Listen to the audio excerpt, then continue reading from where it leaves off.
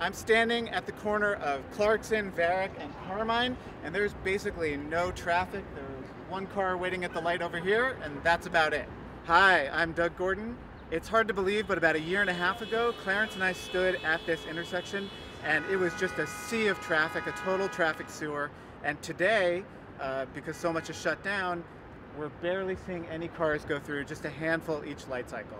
Uh, it was a mess, and crossing the street was really difficult, especially if you were carrying kids, if you were pushing a stroller, if you were in a wheelchair.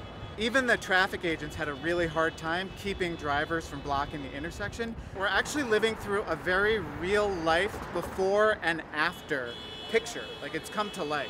The before is all of the traffic that would just gridlock every intersection, all the fumes, all the honking, all the noise, all the stress of just trying to cross the street.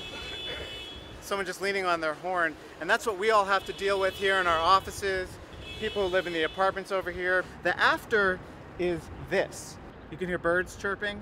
It's actually pleasant over here, which is not something you would usually use to describe this particular intersection. And it's not really the after that we want because so much of the city is dead. The life has been really sucked out of the city.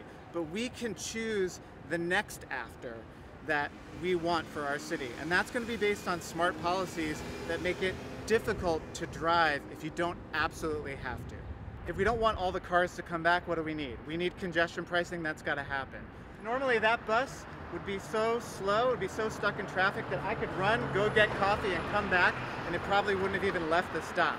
So going forward, it needs a bus lane. There are lots of people who understandably are going to be afraid of taking transit. And actually there'll be people who are afraid of getting on a bike. It's not always easy. But we need to prepare because even just a small fraction of people decide to get in a car, this intersection and in really the whole city is going to look just the way that it did before. And we know that that wasn't working for anybody then. It's really not going to work for anybody going forward. The message we need to send is that you have to act now because if we wait for things to reopen, it'll be too late.